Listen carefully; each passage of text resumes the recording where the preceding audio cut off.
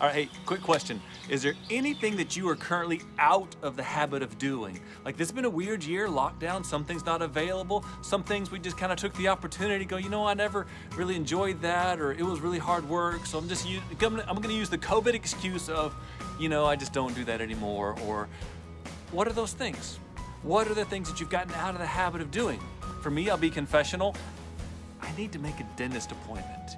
You know, I was a, I was part of the every six month regular cleaning, checkups, X-rays, all those things, and um, I haven't done that in over a year. So I'm kind of, you know, you rub your, your tongue against the back of your teeth and going, yeah, that feels like some plaque buildup. These are just my confessions. I have personally gotten out of the habit of going to the dentist every six months. What about you? How's the dentist? How's the gym? How's the fill in the blank with whatever the things about habits? Now, does the Bible say anything about habits?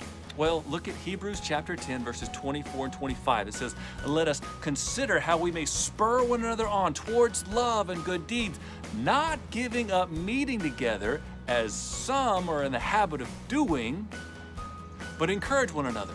And all the more as you see the day coming, the day like when God comes back, the day. I believe that coming out of this weird season, we're going to learn so much more that it's more about connecting than attending.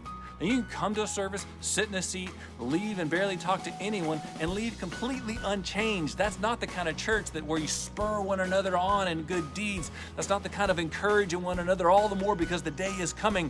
So let us attend if you can attend. I encourage you to attend. It was good to see everyone in person recently, like this Easter season. All right, we missed you. We're like, oh my goodness, your kids have grown up so much in a year.